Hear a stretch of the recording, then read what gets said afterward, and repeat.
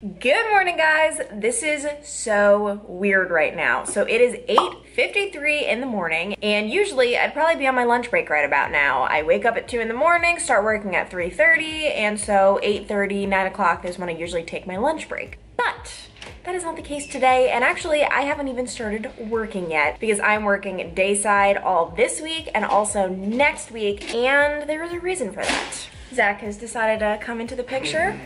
How are you Cheers. doing? Well, tell me this wasn't so weird, us just bopping around, getting ready together.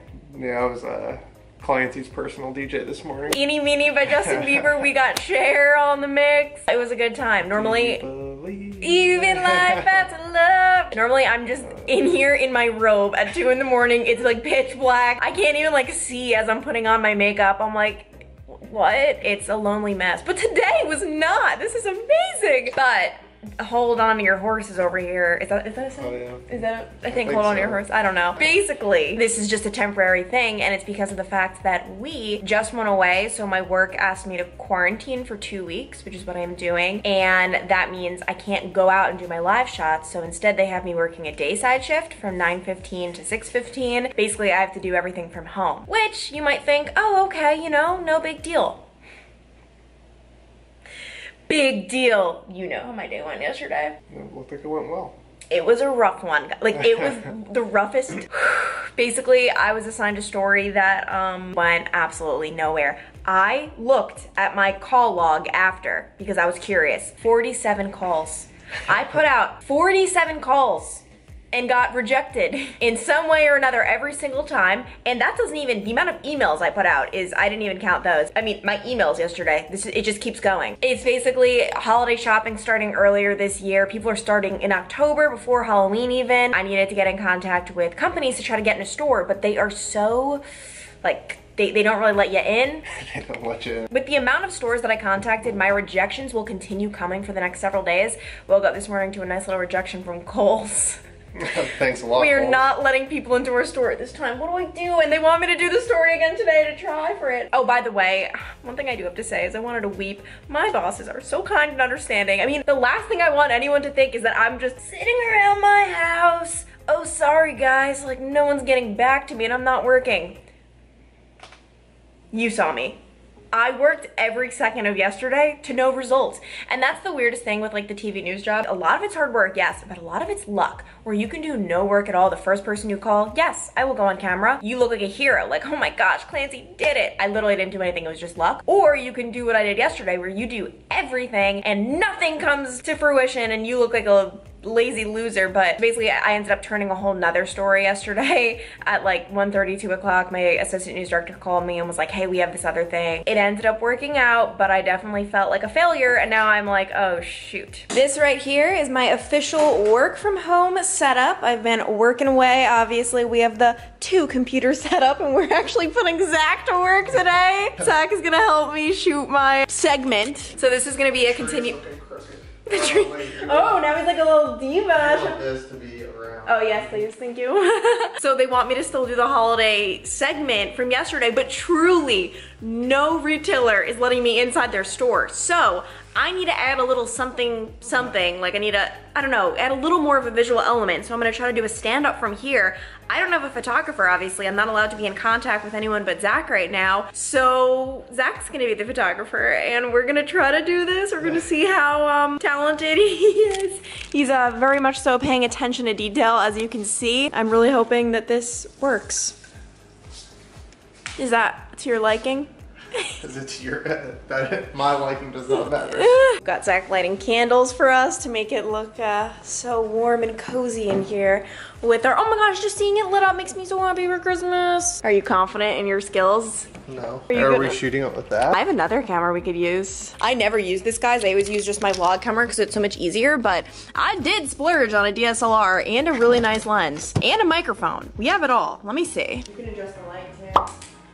And then, okay, so in order to get it to focus, you toggle this. We can like play around with it. Might be too bright. We need it like way far back. Here, why don't you stand there? Okay, the lighting sucks. Should we just push this way back? You at least look good enough. Yeah, look good at anything? Flip the camera. Let me see what it looks like. Other way. I mean, closer. Yeah. And then you're gonna come at me at an angle. down and then up. You want to get your robe out of there, maybe? Can you see that it says October from there? You still like... It's not crystal clear. Like, do you want me to pan out? I don't know what's happening. It's like super blurry. You just hold it. If you actually press in, it's like going in and out of focus a lot. It's that time of the year. Unbeatable discounts, unbelievable deals. But wait a minute, does the calendar say October? That's right, it's not even Halloween, and yet the holiday season is already here. The traditional holiday season that is defined as November through December, it's meaningless this year. What did you think of your first big uh, debut as a photographer? Uh, that your job's super easy and I don't want to hear about it. Just kidding. The lighting and stuff is like hard and then like making sure it looks good and everything else. But you did such a good job. I mean, someone had to carry the team. Wow, I'm trying to be nice and then you did a good job, honey. You did he very good is job.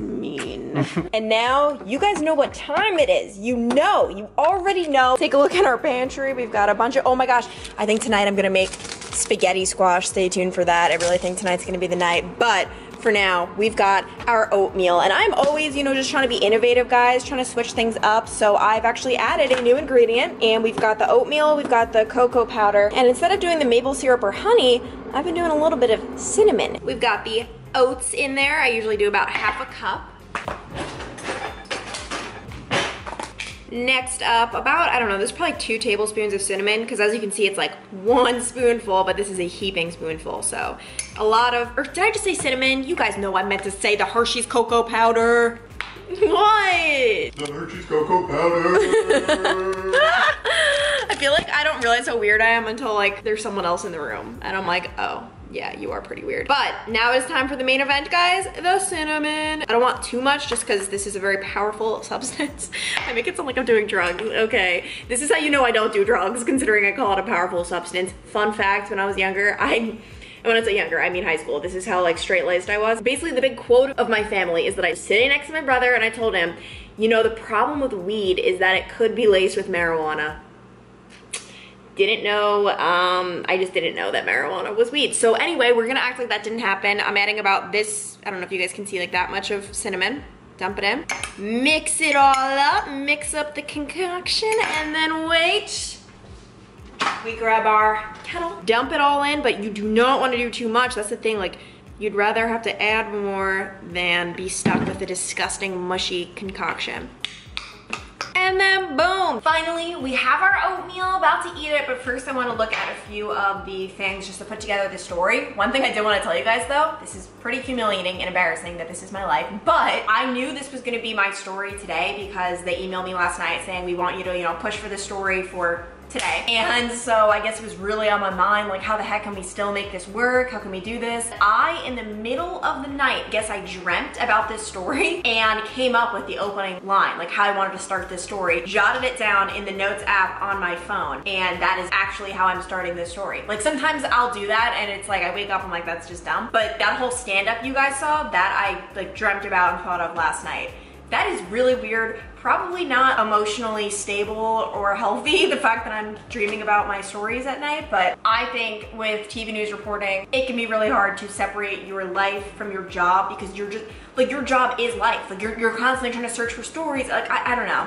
It's extremely hard, but in this case, it kind of worked out. Thank you, Dreaming Clancy, for coming up with that. I'm gonna be doing this, gonna be eating this. What are you doing, Zac? Soon I will be working. Oh, I will not be at all. Hi guys, I just felt the need to hop on here and tell you this is the first time you will ever see me eat cinnamon, and it's also the last time because I realized I actually am allergic to cinnamon. So I had been trying a little bit in my oatmeal each and every day, and my throat was feeling so weird, my entire mouth, and I was thinking, man, I'm getting sick, but it's this weird sickness that only pops up in the morning and night. And finally, I was like, wait a minute, it's the cinnamon. So I'm allergic to cinnamon, and it was a nice little run while it lasted. So this right here is the life of a reporter. This is where you have to go when you track your package, when you do the voiceover, because you don't want any echoey hallways or rooms. You want it to be really just compact in your closet. So right now I'm about to just do this right on my phone. Some tricks of the trade. This is what it's like to be a TV news reporter.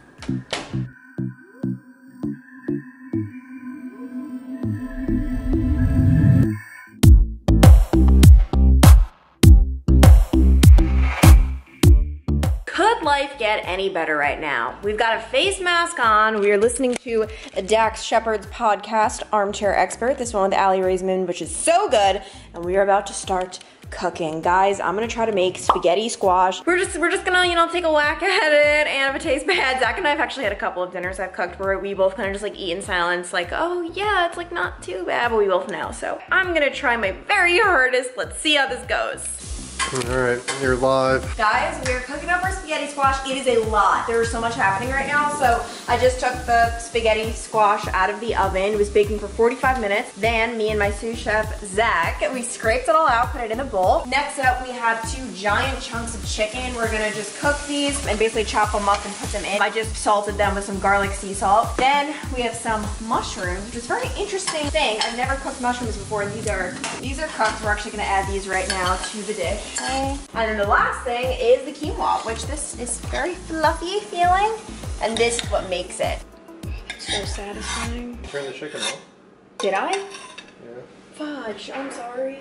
I don't know how that happened. All right, so this is the concoction so far. We've got the quinoa, mushrooms, and spaghetti squash. Zac took over chicken duty, and he is killing the chicken game.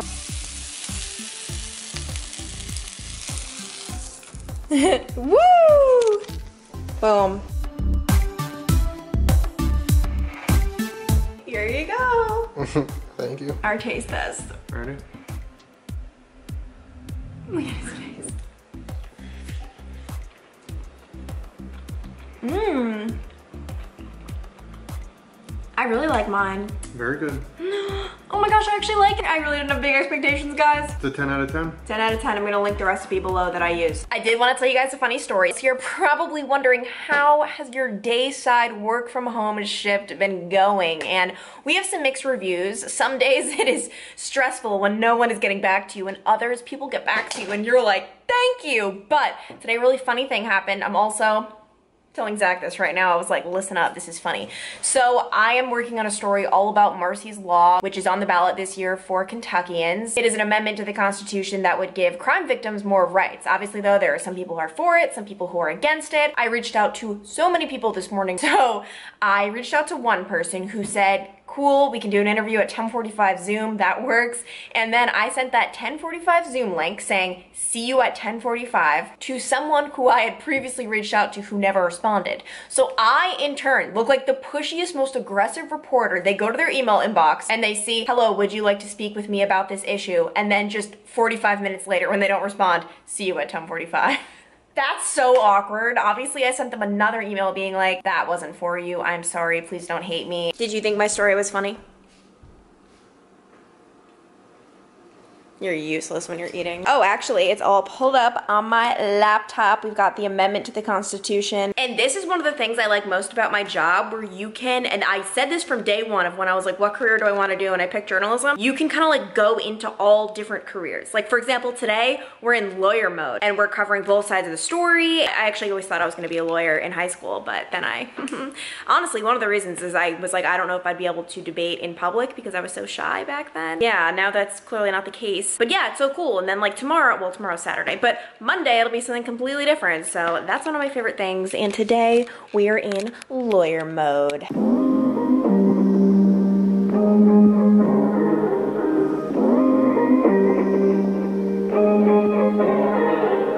We bought Kroger brand wraps.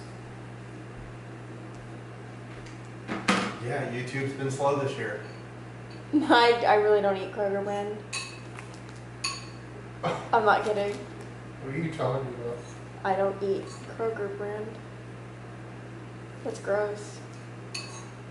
are you, what are you, are you legitimately saying you will not eat Kroger brand fajita wraps? Yes. This is a real conversation. you bro? couldn't have bought like a brand that we know, like They're the same thing. They're steals their recipe and sells it for low. no. Everyone knows that it's like less quality and it probably has like bad preservatives. I can go and get new ones if you really want me to, but What's the alternative? I go and get them?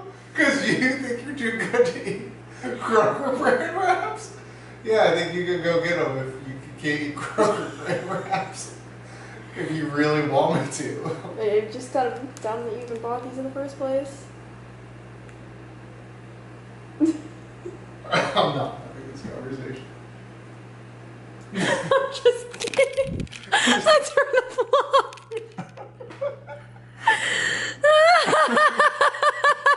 Were you like confused considering I, I was so scared you were gonna be like, you eat Kroger We're gonna have to watch that before he posts that So as you can see, I'm taking off half my makeup in the midst of all of this, so don't mind what I look like. But you guys can see Zac's sass coming out. Zac definitely has like a sassy little side to him. Oh yeah. Whatever you said was funny though. You're like, I'm not having this conversation. Obviously, guys, that was a little prank I decided to play on him. Kroger, for those of you who don't know, is like the grocery store here in Ohio. So it's like buying like the Kroger brand, like not as good, but we both buy Kroger brand everything. Or I guess you just don't know that I do it, but yeah, obviously I don't, I really could care less what brand I buy. So I just decided to act like I was too good for it. what do you have to say? You're gonna enjoy your Kroger brand tortillas, or go buy other ones. Zac and I are making fajitas tonight. Kroger brand shout out, whether I like it or not. And here we are, folks, our store brand fajitas. Zac's over here looking just as great. And you know what? I have a feeling they're gonna taste amazing, even more amazing than if we bought not store brand, right? Agree?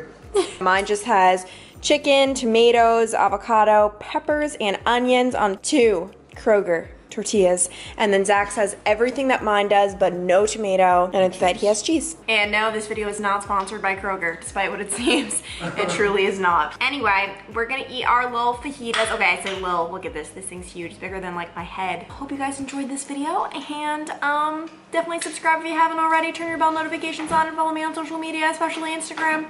Bye.